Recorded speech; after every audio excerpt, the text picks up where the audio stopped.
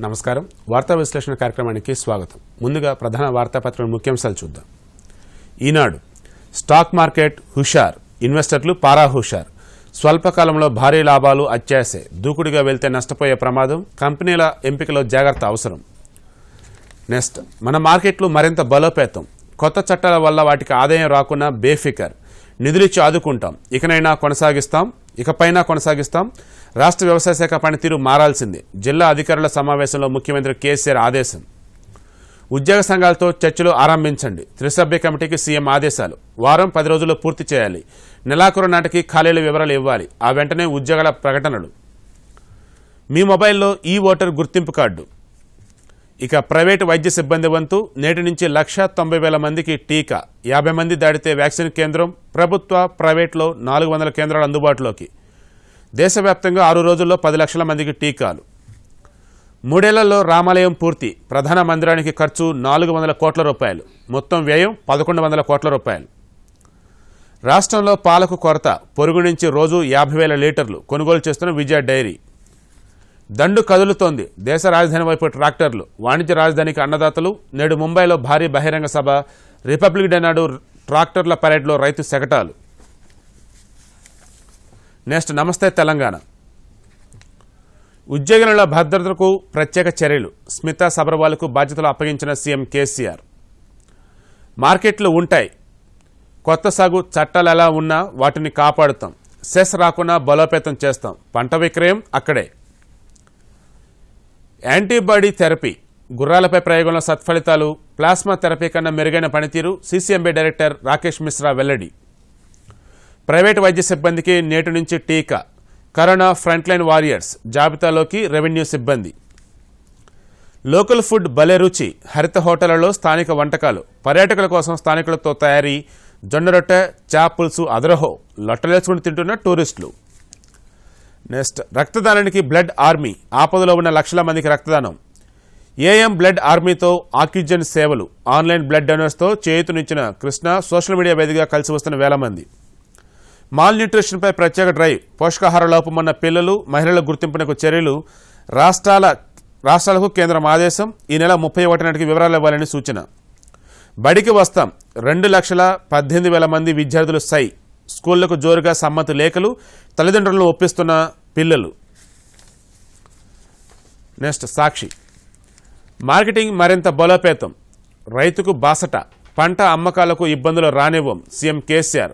వ్యవసాయ మార్కెట్లు కొనసాగుతాయి. కేంద్ర చట్టాలతో సంబంధం లేకుండా ఏర్పాట్లు. మార్కెటింగ్ శాఖలో రీసెర్చ్ అండ్ అనాలిసిస్ వింగ్. ఏ పంటకు ఎక్కడ మంచి ధర ఉందో ఎప్పటికప్పుడు రైతులకు తెలియచేయాలి.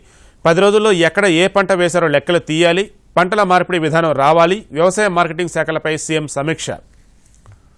మోదీ ప్రభుత్వానిది మొండి వైఖరి. సిపిఎం రాష్ట్ర కార్యదర్శి తమ్మినేని వీరభద్రం విమర్శ రైతు చట్టాలను వెంటనే రద్దు చేయాలన్న చాడ. సాగు చట్టాలు విద్యుత్ బిల్లును వ్యతిరేకిస్తూ వామపక్షాల భేటీ. బ్రిటన్ రకంతో యూరప్ బెంబేలు. నెక్స్ట్ గిరిజన గురుకుల పరిధిలో న్యాయ కళాశాల. ప్రైవేటుకు నేటి నుంచి ఒక్కో ప్రైవేట్ ఆసుపత్రికి ఒక్కో నోడల్ ఆఫీసర్. పెట్రోల్ ఎనభై తొమ్మిది రూపాయల పదిహేను పైసలు డీజిల్ ఎనభై రెండు రూపాయల ఎనభై పైసలు all time record. Next Andhrajyothy. Marketing సజీవం ప్రభుత్వం నుంచే నిధులు రీసెర్చ్ అండ్ అనాలిసిస్ వింగ్ ఏర్పాటు. పిహెచ్సిలను స్పెషాలిటీ వైద్య సేవలు వర్చువల్గా అపాయింట్మెంట్ ప్రభుత్వ డయాగ్నోస్టిక్ కేంద్రాల్లో టెస్టులు ఆన్లైన్లో వైద్యులకు రిపోర్టులు సిరిసిల్ల మెదక్లో పైలట్ ప్రాజెక్ట్ విజయవంతం విజయవంతం అవడంతో రాష్ట్రమంతా. ఉద్యోగ సంఘాలతో చర్చించండి. త్రిసభ్య కమిటీకి కేసీఆర్ ఆదేశం నెలాఖరుకు చర్చల ప్రక్రియ పూర్తి. ఓరుగల్లులో గూండారాజ్. నెక్స్ట్ దక్షిణాదిలో సుప్రీం బెంచ్ సత్వరం ఏర్పాటు చేయాలి. రాష్ట్రాలు అసెంబ్లీలో తీర్మానాలు చేయాలి. దక్షిణాది బార్ కౌన్సిల్ చైర్మన్ డిమాండ్ సాధన సమితి చైర్మన్గా ఏ నరసింహారెడ్డి. పెట్రోల్ డీజిల్పై ఎక్సైజ్ సుంకంలో కోత. యోచిస్తున్న కేంద్రం బడ్జెట్లో ప్రకటించే అవకాశం సుంకం తగ్గితే వాహన ధరలపై పెట్రోల్ భారం తగ్గే ఛాన్స్. ఇక మెయిన్గా వీళ్ళు కూడా ప్రైవేట్ వైద్య సిబ్బందికి టీకాని కూడా మెన్షన్ చేయడం జరిగింది. సో ఈరోజు అనాలిసిస్లోకి వెళ్దాం. చర్చలో ఈరోజు మనతో పాటు ఉన్నారు సీనియర్ జర్నలిస్ట్ దిలీప్ గారు. సార్ నమస్కారం సార్. నమస్తే. సార్ ప్రధానంగా ఈరోజు చూస్తే అన్ని పేపర్లలో కూడా రైతులకు సంబంధించి పంట పరంగా కొనుగోలు కోసం రాష్ట్ర ప్రభుత్వం తీసుకున్న చర్యలే మెన్షన్ చేస్తూ ఉన్నారు. ఎటువంటి సత్ఫలితాలు ఇవ్వబోతా ఉన్నాయి? అంటే దాంట్లో రెండు అంశాలు ఉన్నాయి. ఒకటి మినిమం సపోర్ట్ ప్రైస్ అడుగుతున్నారు. ప్రభుత్వమే కొనుగోలు చేయాలి అనేది జనరల్గా రైతుల వైపు నుంచి వచ్చే డిమాండ్. ఆ పర్టికులర్ డిమాండ్ మీదనే చాలాసార్లు చర్చలు ప్రతిష్టంభన కావడం అఖిల భారత స్థాయిలో మనం చూస్తూ ఉన్నాం. రాష్ట్ర ప్రభుత్వం కూడా ముందు ఈ చట్టాలు ప్రజా వ్యతిరేకమైనవి రైతు వ్యతిరేకమైనవి అని ఆందోళన కూడా చేసినారు. ఇక్కడ ఒకరోజు ప్రొటెస్ట్ కూడా చేసినారు. తర్వాత కేంద్రం చట్టం తీసుకొచ్చింది కనుక రైతు ఎక్కడైనా అమ్ముకోవడానికి అవకాశం ఉంది కనుక మీరు అట్లా వెళ్ళండి. మేము పంట నిర్దేశిత పంట మాత్రమే వేయాలి అనే పంట నిర్బంధం కూడా ఏమీ ఉండదు అని చెప్పినారు. రకరకాల అపోహలు వచ్చినాయి రైతాంగంలో కూడా. ఎందుకు ఇట్లా ఏకదం ఒకటేసారి యూటర్న్ తీసుకున్నారు? దేనికి ఏది రీజనింగ్? వ్యతిరేకించినప్పుడు ఎందుకో రీజనింగ్ సరిగా లేదు మళ్ళీ అంగీకరించినప్పుడు రీజనింగ్ లేదు అని. సో ఆ భయ సందేహాల మధ్య నిన్న ముఖ్యమంత్రి గారు సమీక్ష జరుపుతూ కేంద్ర చట్టాలతోటి మార్కెటింగ్ వ్యవస్థ బలహీనమైపోయి ప్రైవేట్ కొనుగోళ్ళు పెరుగుతాయి. అప్పుడు మద్దతు ధర కూడా లేకపోతే రైతుకు చాలా ఇబ్బందికరమైన పరిస్థితి వస్తుంది. ప్రైవేట్ ప్లేయర్స్ వచ్చి గుత్తాధిపత్యం చేసిండ్రంటే వాళ్ళు నిర్దేశించిన ధరలే ఉంటాయి తప్ప రైతు ఆశించింది రాదు అని. ఇప్పుడు ముఖ్యమంత్రి గారు కొత్తగా ఇస్తున్న హామీ ఏంటంటే మార్కెట్ వ్యవస్థ బలహీన పడదు. కొత్త చట్టాల వల్ల ఆ, సెస్ వసూళ్ళకు నిషేధం విధించి మార్కెటింగ్ వ్యవస్థ దెబ్బతింటే ప్రైవేట్లో కొనుగోళ్ళు ఉంటాయి అనే ఆందోళన మీకు అక్కర్లేదు. కేంద్రం చట్టాలతోటి నిమిత్తం లేకుండా మేము స్వచ్ఛందంగా మా వైపు నుంచి మార్కెటింగ్ వ్యవస్థను బలోపేతం చేస్తామని అంటున్నాను ఇది ఒక్కటే సరిపోదు. మార్కెటింగ్ వ్యవస్థ అనుబంధంగా కనీస మద్దతు ధర ఖచ్చితమైన కొనుగోలు ప్రభుత్వం నుంచి ఉంటేనే రైతుకు మేలు. సో ఆ నిర్దిష్టమైన హామీ ఏం కనబడట్లేదు. సమీక్షలో మార్కెటింగ్ మరో మార్కెటింగ్ బలోపేతం చేస్తే ఇటు ప్రైవేటు రంగంలో ఉండే మార్కెట్ కొనుగోలుదారులు ఇటు ప్రభుత్వం నిర్వహించే మార్కెట్ కమిటీలు స్ట్రెంగ్తన్ కావడం రెండింటి వల్ల కొంత కాంపిటేటివ్నెస్ వచ్చి రైతుకు ఉపయోగపడుతుంది అయితే రైతులకు ఎప్పటికప్పుడు అప్డేట్ ఇస్తూ ఉంటాం. ఎక్కడ రై రైతులకు సంబంధించేసి పంటల కొనుగోలు విషయంలో ఏ మార్కెట్లో డిమాండ్ ఉంది ఎంత రేటు పలుకుతూ ఉంది సో ఎక్కడ కూడా నష్టపోకుండా మేము చూసుకుంటామంటూ ఉన్నారు. అంటే చిన్న చిన్న రైతులకి ఇబ్బంది వస్తుంది. పెద్ద హోల్డింగ్స్ ఉన్న చోట పెద్ద హోల్డింగ్స్ ఉన్న చోట కమతాలు ఉన్న చోట వాళ్ళు వాళ్ళ ఉత్పత్తుల్ని కోరుకున్న చోటికి తీసుకెళ్ళి ఎక్కువ ధర వచ్చేటట్టు చూడగలరేమో కానీ చిన్న చిన్న ఉత్పత్తిదారులు ఉంటారు. అట్లాంటి వాళ్ళు కష్టం వాళ్ళు అట్లా మొబిలిటీ ఫెసిలిటీ మంచిదే.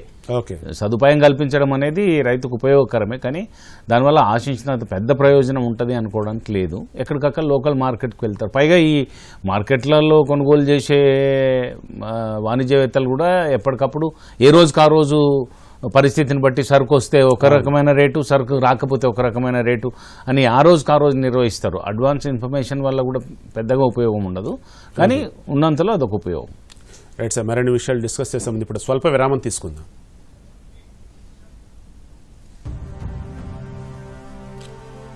भारत की पोलियो से जीत की कहानी बड़े बड़े शब्दों में लिखी जाएगी पर इस जीती हुई लड़ाई को कायम रखने के लिए हमें अपने प्रयासों को जारी रखना होगा जब तक दुनिया से पोलियो का खतरा पूर्ण रूप से टल न जाए खतरा है बरकरार इसीलिए पोलियो की खुराक पिलाना है हर बार दो बूंद हर बार पोलियो पर जीत रहे बरकरार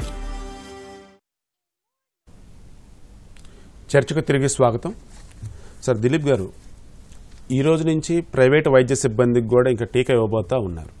అదే దా దాని పట్ల కూడా ప్రజల్లో అంటే ముఖ్యంగా ప్రైవేటు రంగంలో పనిచేసే వైద్య సిబ్బందికి కొన్ని సందేహాలు ఉన్నవి. ప్రభుత్వం పట్టించుకోవట్లేదు. ఈ ఫేజ్ దాటిపోతున్నప్పుడు కూడా మరి ప్రైవేట్ సెక్టర్లో అంటే దానికి వాళ్ళు ఏర్పాటు చేసుకున్నారు మొదటి నుంచి. ఇంతకుముందు ఒక వంద మంది ఉంటే మాత్రమే అక్కడికి ఈ టీకా వాయిల్స్ అక్కడికి పంపించి ఏర్పాటు చేస్తాం. లేకపోతే సమీపంలో ఉన్న కేంద్రానికి రావాలి అని. ఇప్పుడు టీకా ఇచ్చే కేంద్రాలు కూడా యాభై సిబ్బంది యాభై మంది సిబ్బంది ఉన్న చోటికి కూడా పంపిస్తా ఉన్నాము. ఇది ఒక దశ. దా ఫేజ్లో మొట్టమొదటి వాళ్ళు ఏం చెప్పినారంటే వైద్య సిబ్బందికి అట్లాగే భద్రతా సిబ్బందికి పారిశుద్ధ్యం వాళ్ళకి ఇట్లా విడతల వారీగా ఎట్లా అయితే ఇస్తామన్నారో దాంట్లో భాగంగా ఇప్పుడు ప్రైవేట్ సెక్టర్. ఎందుకంటే మన దగ్గర ప్రైవేట్ సెక్టర్లోనే ప్రభుత్వ సెక్టర్లో కంటే ఎక్కువ సంఖ్యలో సిబ్బంది ఉన్నారు. వాళ్ళకు కూడా టీకా అందుతుంది రైట్. ప్రధానంగా మనం చూస్తూ ఉన్నప్పుడు బడికి వస్తామంటూ రెండు లక్షల పద్దెనిమిది వేల మంది విద్యార్థులు సై అంటూ ఉన్నారు. వాళ్ళ తల్లిదండ్రులు వచ్చేటప్పటికి లెటర్లు పంపుతున్నారు సమ్మతి అని చెప్పేసి. అంటే ఇన్నాళ్ళు భయపడ్డటువంటి తల్లిదండ్రులు ఇప్పుడు వాళ్ళ పిల్లల్ని స్కూల్కి పంపుతాను అనటంలో వ్యాక్సిన్ కీలక పాత్ర పోషిస్తుంది అనుకోవాలి. ఒక ఒకవైపు వ్యాక్సిన్ వస్తుంది ఇంకొక వైపు ఆ, వైరస్ యొక్క ప్రభావం కూడా తగ్గింది అనే భావన. ప్రజలు కూడా హెడ్ ఇమ్యూనిటీ పెరిగిందని చెప్పి శాస్త్రవేత్తలు కూడా అంటూ ఇమ్యూనిటీ హర్డ్ ఇమ్యూనిటీ దాకా వచ్చి ఉండదు స్టేజ్ ఇప్పుడు కానీ వైరస్ యొక్క ప్రభావం తగ్గింది. ఆ స్ట్రెయిన్ ఏదైతే ఎక్స్పెక్ట్ చేసినంత ఇప్పుడు యూరోప్ వాళ్ళ కల్లోలం అవుతా ఉంది. కానీ అట్లాంటి తీవ్రమైన పరిస్థితులు మన దగ్గర లేవు. కానీ విద్యా సంవత్సరం నష్టపోకుండా వీలైనంత తొందరగా ఎందుకంటే చాలా ఇన్స్టిట్యూట్స్ స్టార్ట్ అవుతున్నాయి. ఇరుగు పొరుగు రాష్ట్రాల్లో కూడా స్టార్ట్ అవుతున్నాయి. ఆల్టర్నేట్ డే అని ఒకరు లేకుంటే కొన్ని పరిమితమైన గంటలని కొన్ని ఉదయం కొంతమందికి తరగతులు మధ్యాహ్నం కొంతమందికి తరగతులు. ఇట్లా డిఫరెంట్ మోడల్స్లో ఎడ్యుకేషన్ రివైవ్ అవుతుంది కనుక మన దగ్గర కూడా కాన్సెంట్ లెటర్ ఇవ్వమని వాళ్ళు అడిగినప్పుడు పేరెంట్స్ నుంచి సానుకూలమైన స్పందన వచ్చింది అనేది ఆ వార్త ఉద్దేశం అనుకుంటా. నెక్స్ట్ మాల్ న్యూట్రిషన్ ప్రత్యేక డ్రైవ్ అంటూ కూడా పోషకాహార లోపమున్న పిల్లలని మహిళల గుర్తింపుకు చర్యలు తీసుకోవటం డేటా మొత్తం కూడా ఇమ్మని చెప్పేసి రాష్ట్రాలని కేంద్రం ఆదేశించడం ఓ రకంగా మంచి పరిణామం అనుకోవచ్చు. మంచి పరిణామం. ఎందుకంటే మన దగ్గర భారతదేశంలో ముఖ్యంగా అవగాహన లోపం వల్ల మన దగ్గర ఒకటే నేషనల్ ఇన్స్టిట్యూట్ ఆఫ్ న్యూట్రిషన్ ఉంది. మన హైదరాబాద్లోనే ఉంది భారతదేశం మొత్తానికి ఒకటే. కేంద్ర ప్రభుత్వం ఇప్పుడు రాష్ట్రాలని అడగడం వెనుక ఉద్దేశం కూడా ఎందుకంటే చిన్న చిన్న వాళ్ళ పరిధిలో ఉండే ఆహారంలో కూడా పోషక విలువలు ఉన్న ఆహారాలు ఉంటాయి. వాటిని తీసుకోక అవగాహన లోపం వల్ల ఏకపక్షంగా ఒకే రకమైన ఆహారం తీసుకోవడం దాంట్లో న్యూట్రిషియస్ వాల్యూస్ లేకపోవడం దాంతో పిల్లలు మాల న్యూట్రిషన్ ఎదుగుదల లోపించడం ఇట్లాంటి ఈ మధ్య అధ్యయనాలలో బాగా వెల్లడైనాయి. దాన్ని దృష్టిలో పెట్టుకుని డాటా ఒకటి కలెక్ట్ చేసినట్టయితే మనం ఎక్కడ ఏ ఏ అంశాలను సప్లిమెంట్ చేయడానికి అవకాశం ఉంటుంది అని జాతీయ స్థాయిలో భారతదేశ కేంద్ర ప్రభుత్వం ఒక పథకం రచించడానికి అవకాశం ఉంటుంది కనుక ఇది ప్రిలిమినరీ యాక్షన్ కింద రాష్ట్రాలకు ఉత్తరం రాసి మీ దగ్గర ఎక్కడెక్కడే ఎంతమంది ఏ రకమైన లోపాలతోటి సఫర్ అవుతున్నారు వైటమిన్ లోపంతో ఉన్నారా? లేకుంటే ఎదుగుదల లోపం ఉందా? దానికి లేకుంటే న్యూట్రిషియస్ వాల్యూస్ లేని ఫుడ్ తింటున్నారా? అని అది కొంత స్టడీ చేస్తే కనుక వాళ్ళు దేశవ్యాప్తంగా అనుసరించే ఒక పథకం రూపొందించుకోవడానికి అవకాశం ఉంటుంది. ఆ ఎక్సర్సైజ్లో భాగంగా వాళ్ళు ఇది నిర్వహిస్తున్నారు. తర్వాత ఈరోజు జాతీయ ఓటర్ దినోత్సవం జనవరి ఇరవై ఐదు. దీని సందర్భంగా మొబైల్లోనే ఈ ఓటర్ గుర్తింపు కార్డు అని చెప్పి ఒక యాప్ కూడా తీసుకురాబోతా ఉన్నారు. ఇది ఎటువంటి సత్ఫలితాలు ఇస్తుందంటారు? అంటే మోర్ ఫెసిలిటేషన్. ఇప్పుడు చాలా సందర్భాల్లో మనం చూస్తున్నామండి గత ఇరవై ఐదు ముప్పై సంవత్సరాల నుంచి ఓటర్ ఐడెంటిటీ విషయంలో అనేక వెసులుబాట్లు ఇచ్చినారు. పది నుంచి పన్నెండు పద్నాలుగు పద్దెనిమిది. ఈ పద్దెనిమిదిలో మీరు ఏదైనా తీసుకొచ్చి తీసుకురావచ్చు. ఇప్పుడు ఈ శాస్త్ర సాంకేతిక పెరిగిన తర్వాత ఎలక్ట్రానిక్ మోడ్లో ఇప్పుడు మనం చూస్తున్నాం మన కార్డు ఎన్నిసార్లు క్యారీ చేయకపోవచ్చు. దాన్ని ఆర్టీఏ నుంచి అనుసంధానం చేసి మన డ్రైవింగ్ లైసెన్స్ని ఒకసారి అప్రూవ్ చేసుకొని మన మొబైల్ సెట్లో పెడితే మనం కార్డు క్యారీ చేయని అవసరం లేదు మొబైల్లోనే చూసుకోవచ్చు చూపించవచ్చు. తనిఖీ అధికారికి కూడా చూపించవచ్చు. అట్లాగే ఈ ఓటింగ్ విషయంలో కూడా ఆ ఫెసిలిటీ కల్పించినట్టయితే వాళ్ళు ఫిజికల్గా కార్డు క్యారీ చేయకపోయినా ఎలక్ట్రానిక్ మోడ్లో రిజిస్టర్ అయిన ఓట్ని చూపించి కూడా వాళ్ళు ఓటు వినియోగించుకోవడానికి ఆస్కారం ఉంటుంది. మంచిదే. అది సౌలభ్యం తదనంతరం. తర్వాత మనం ప్రధానంగా చూస్తూ ఉన్నప్పుడు పెట్రోలు డీజిల్ గురించి ఆల్ టైమ్ రికార్డ్ అంటూ కూడా ఇవ్వటం జరిగింది. సో పెట్రోలు డీజిల్ రేట్లకు సంబంధించేసి ఇంటర్నేషనల్ వైడ్ బ్యారెల్ రేటు గతంలో కన్నా ఇప్పుడు తక్కువే ఉంది. కానీ మన దగ్గర రేట్ ఎక్కువగా ఉంది. ఈ వ్యత్యాసం ఎక్కడని చెప్పేసి సగటు వ్యక్తి కూడా ఆలోచిస్తూ ఉన్నారు. అంటే పన్నులు సుంకాల వల్ల విపరీతమైన పెట్రోల్ డీజిల్ ధరలు పెరుగుతున్నాయి అనేది మన దగ్గర మనం గత కొన్ని సంవత్సరాలుగా ఇది ఒక పోరాటం జరుగుతూ ఉంది. ఈ ప్రజా సంఘాలకు కానీ రాజకీయ పక్షాలకు కానీ పాలక పక్షానికి మధ్య. అయితే ఇప్పుడు కొంచెం స్వల్పంగా ధరలు పెరుగుతున్నాయి. ఇంటర్నేషనల్ మార్కెట్లో క్రూడ్ ధరలు పెరుగుతున్నాయి. ఆ పెరుగుతుంటే తగ్గినప్పుడేమో దాని తాలూకు బెనిఫిట్ మాకు పాసాన్ కాలేదు. పెరిగినప్పుడు మాత్రం ఆ భారం మాకు పాసాన్ అవుతుంది అనేది ఇలా ప్రజల ఇబ్బంది. ఎందుకంటే తగ్గినప్పుడు తగ్గి ఆ ప్రయోజనం ఇవ్వాల్సింది ఇవ్వలేదు. ఎందుకంటే ఆయిల్ కంపెనీలు గతంలో నష్టపోయాయి గనక ఆ నష్టాన్ని పూడ్చుకుంటున్నాయి కనుక ఇప్పుడు ఇంటర్నేషనల్ మార్కెట్లో క్రూడ్ ధరలు తగ్గినప్పటికీ ఇక్కడ పెట్రోల్ ధరలను తగ్గించము అని అంటే ఇఫ్ ఇఫ్ ఇట్ ఈస్ ఇది కోరిలేట్ అయితే ధరలతో కోరిలేట్ అయితే పెరిగినప్పుడు పెరగాలి తగ్గినప్పుడు తగ్గాలి. తగ్గని పరిస్థితులు ఉన్నాయి. పైగా అంతకంటే ఎక్కువ దుర్మార్గమైన విషయం ఏంటంటే దాన్ని ఒక రాబడి వనరు కింద కేంద్ర ప్రభుత్వం స్వల్పంగా రాష్ట్ర ప్రభుత్వాలు కూడా ట్యాక్సులు వసూలు చేయడం సుంకాలు వసూలు చేయడం వల్ల ఆ భారం ఇవాళ వంద రూపాయలకు పోతుందేమో అనే ఆందోళన ఉంది. ఎనభై ఎనభై రూపాయల పైకి వచ్చేసినాయి. ఎనభై డీజిల్కి తొమ్మిది రూపాయలు దాదాపు ఉంది. డీజిల్కి పెట్రోల్కి మధ్య వ్యత్యాసం కూడా తగ్గింది. ఒకప్పుడు ఒక ఇరవై ఇరవై సంవత్సరాల కింద when we were young people using two wheeler వాడే రోజుల్లో నాలుగింతలు ఉండేది డీజిల్ కంటే. డీజిల్ కంటే పెట్రోల్ ధర నాలుగింతలు ఉండేది. ఇవాళ డీజిల్కి పెట్రోల్కి మధ్య పది రూపాయల లోపు వ్యత్యాసానికి వచ్చింది. ఎందుకంటే డీజిల్ కన్జంప్షన్ అనేది పబ్లిక్ సెక్టర్లో మన డైలీ నిత్యావసరాలని రవాణా చేసే లారీలలో పెద్ద ఎత్తున వాడతారు. దానివల్ల క్యాస్కేడింగ్ ఎఫెక్ట్ అంటారు. డీజిల్ ధరలు పెరిగితే డీజిల్ ధరలు ఎక్కువ స్థాయిలో ఉంటే అవి నిత్యావసరాల సరఫరా మీద మార్పిడి మీద ఉండి దాని ప్రభావం వల్ల నిత్యావసరాల ధరలు కూడా పెరుగుతాయి. ఆ పరిస్థితి ఇవాళ డీజిల్ పెట్రోల్ ముట్టుకుంటే షాక్ కొట్టే పరిస్థితి ఉంది. ఈ చుట్టుపట్టున్న దేశాలతో కంపేర్ చేసి చూసినా కూడా మన దగ్గర ఉన్న సుంకాలు కానీ పన్నులు కానీ విపరీతంగా ఉన్నాయి. ఒక ఆలోచన అవి తగ్గించి ప్రభుత్వం ఏమైనా రిలీఫ్ ఇస్తే ఇది పెరిగినప్పుడు. ఇంటర్నేషనల్ మార్కెట్లో క్రూడ్ ధర పెరిగినప్పుడు ప్రపోర్షనేట్గా ఎంతో కొంత సుంకాలు తగ్గించుకున్నట్టయితే ప్రజలు ప్రయోజనం పొందుతారు అనేది ఒక ఆశావాహం దృక్పథం. ప్రజలంతా కూడా ఏంటంటే ఇంటర్నేషనల్ వైడ్ బ్యారెల్ ధరలు తగ్గినప్పుడు ఎక్కువ మొత్తంలో మనలు ఆ ముడి చమురును కొని స్టాక్ చేయొచ్చు కదా అంటూ ఉన్నారు. అది ఎందుకు మన దగ్గర వీలు కావట్లేదు ఏంటి? మరిన్ని విషయాలు డిస్కస్ చేసే ముందు ఇంకో స్వల్ప విరామం తీసుకుందాం sir. One more short break.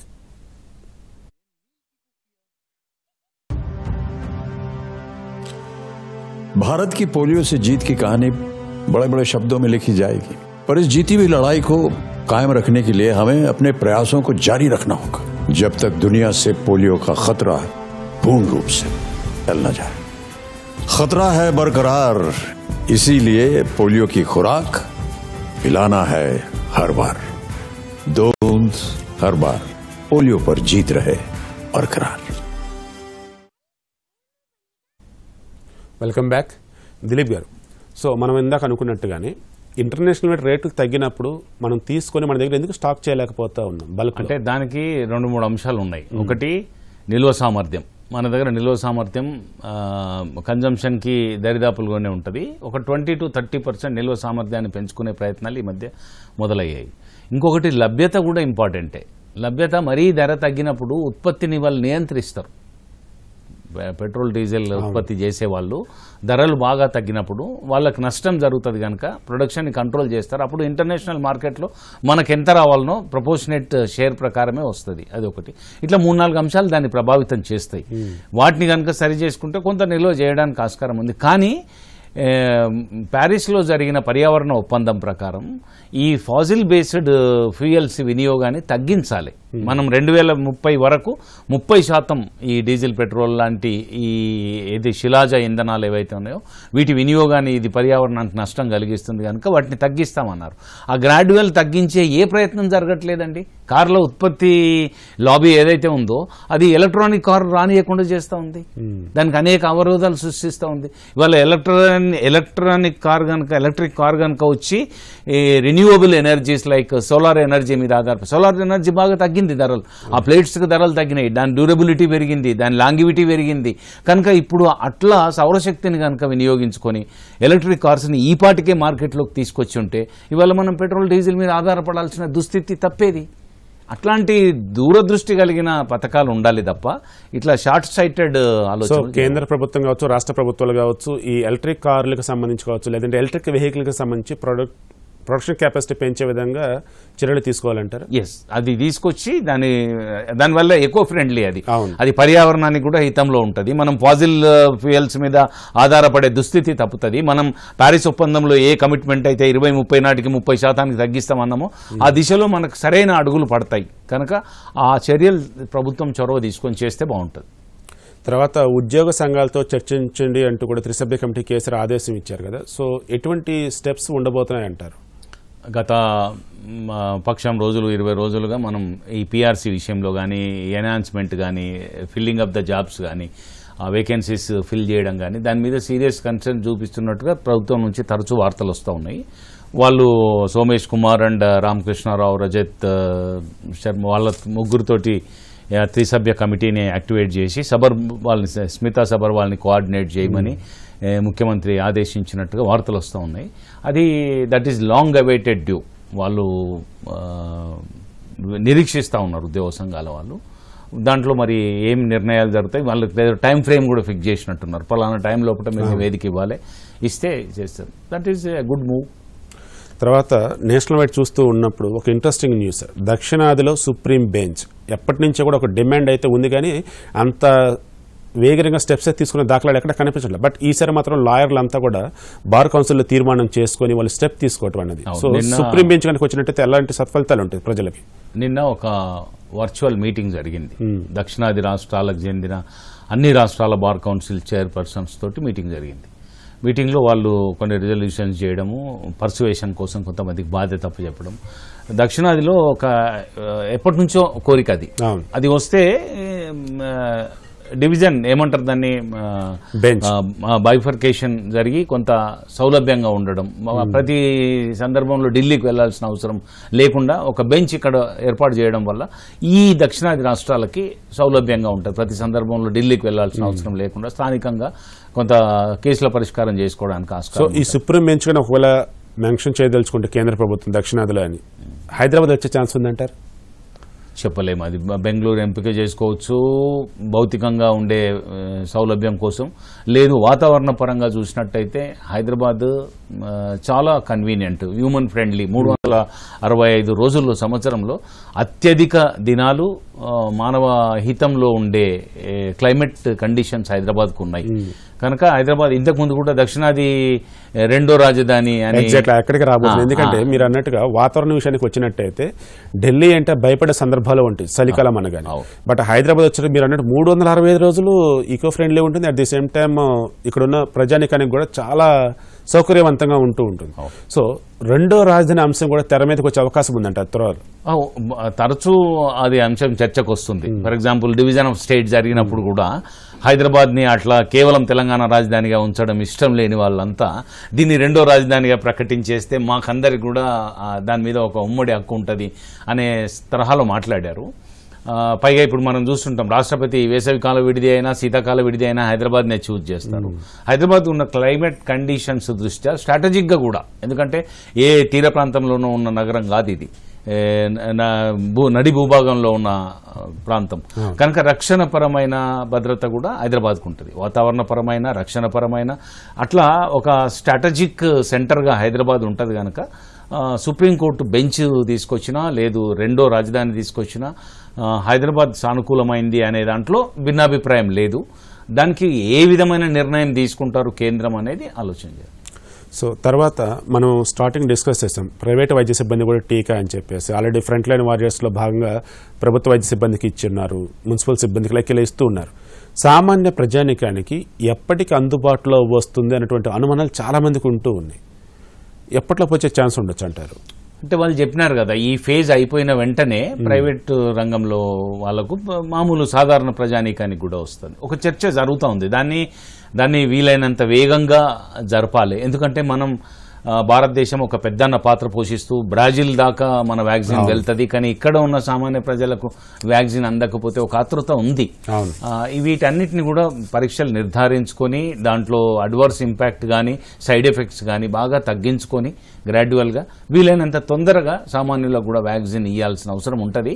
కానీ వాళ్ళు అంచనా వేస్తున్న ప్రకారం దశల వారీగా ఈ రెండు మూడు విడతల తర్వాత బహుశా నేను ఇంకా అనుకుంటాను వన్ మంత్ లోపల ప్రైవేట్ సెక్టర్లో డబ్బులకు కొనుగోలు చేసుకునే అవకాశం అందరికీ అందుబాటులోకి వస్తుందనే భావిస్తున్నాను సో మనం ఫస్ట్ డే సెకండ్ డే కనుక చూసినట్టయితే వ్యాక్సిన్ వ్యాక్సినేషన్ ప్రక్రియలో భాగంగా అనుకున్న వేలో జనాలు రాలేదు.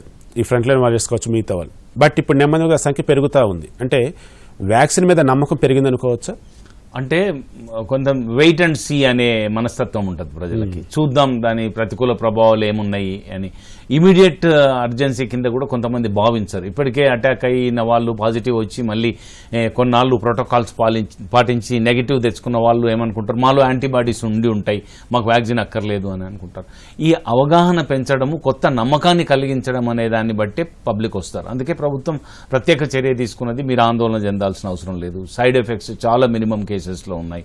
ఎవరైనా అక్కడ ఇక్కడ కొంతమంది చనిపో నాట్ ఎయిట్ సిబ్బంది ఒక ఆయన చనిపోయినాడు లేకుంటే ఇంకెవరో చనిపోయినారు అంటే కూడా ఆ death directly not relates with the vaccine. వాళ్ళకు ముందే గుండె జబ్బులు ఉండడమో ఇంకొకటి ఉండడమో ఇంకొకటి ఉండడం వల్ల. ఈ ఈ కొత్తగా విశ్వాసం కలిగించే కమ్యూనికేషన్ ఏదైతే చేస్తుందో ప్రభుత్వం దానివల్ల గ్రాడ్యువల్గా వ్యాక్సిన్ అంగీకరించే వాళ్ళ సంఖ్య పెరుగుతూ ఉంది. సో కంక్లూడ్ చేసే ముందు రాష్ట్రానికి సంబంధించి రాష్ట్రంలో పాలకు కొరత. పొరుగు నుంచి రోజు యాభై వేల లీటర్లు కొనుగోలు చేస్తున్న విజయ డైరీ అని పాల ఉత్పత్తి ఎందుకు గణనీయంగా తగ్గిపోతా ఉంది మన దగ్గర? పెరగాల్సింది పోయి తగ్గుతూ ఉంది. అంటే పాడి పరిశ్రమ వ్యవసాయంలో భాగం అండి వ్యవసాయ అనుబంధ విభాగం లేదని లెక్కేస్తాం మనం. ఎందుకంటే పాడి అయితే మన దగ్గర ఇవాళ కాదు అది. గత ముప్పై నలభై సంవత్సరాలు మీరు విశ్లేషించండి. వంద లీటర్లు అవసరమైన చోటు అరవై లీటర్లు డెబ్బై లీటర్లు మాత్రమే పంపిణీ చేయగలుగుతాం. ఆ సప్లై డిమాండ్ గ్యాప్ అనేది అది నిరంతరం కొనసాగుతుంది. దానివల్లనే ఇవాళ కెమికలైజ్డ్ మిల్క్ వస్తున్నాయి సింథటిక్ మిల్క్ వస్తున్నాయి అనే మాట వస్తుంది. అది సప్లై డిమాండ్ మధ్య ఆ గ్యాప్ ఉంటుంది. ఆ గ్యాప్ ఫిల్ చేయాలంటే పాడి పరిశ్రమని ప్రమోట్ చేయాలి. పాడి పరిశ్రమ ప్రమోట్ చేయాలంటే అనేక అనేక రకాలుగా ప్రభుత్వం వాళ్ళకి మద్దతు ధర ఇవ్వడం వాళ్ళకి ఏదైతే సపోర్ట్ ప్రైస్ అంటాం వాళ్ళకి ఆ ప్రైస్ ఇవ్వాలి అంటే పాల కొనుగోలు సేకరణలో వాళ్ళకి సఫిషియెంట్గా డబ్బు వచ్చేటట్టు ఈ సంఘాలని ప్రమోట్ చేయాలి. కోఆపరేటివ్ సెక్టర్లో చాలా సక్సెస్ అయింది అమూల్ తీసుకోండి మీరు. దేశవ్యాప్తంగా వాళ్ళు ఎంత గొప్పగా చేసినారు. అట్లాంటి ప్ర కోఆపరేటివ్ సెక్టర్లో పాడి పరిశ్రమని కనుక ప్రమోట్ చేసి ఉత్పత్తిని పెంచినట్టయితే ఆ గ్యాప్ ఫిల్ చేయడానికి ఆస్కారం ఉంటుంది. డిమాండ్కి సప్లైకి మధ్య ఉన్న గ్యాప్ ఆ కొరత తీర్చాలి. ఎందుకంటే అది పౌష్టికాహారంలో ముఖ్యమైన భాగం పాలనేది. అది. Right sir. చాలా వివరంగా అన్ని కూడా మెన్షన్ చేయడం జరిగింది. Thank you so much sir. ఇది నేటి వార్తా విశ్లేషణ. మరో అంశంతో మరలా కలుసుకుందాం. నమస్కారం.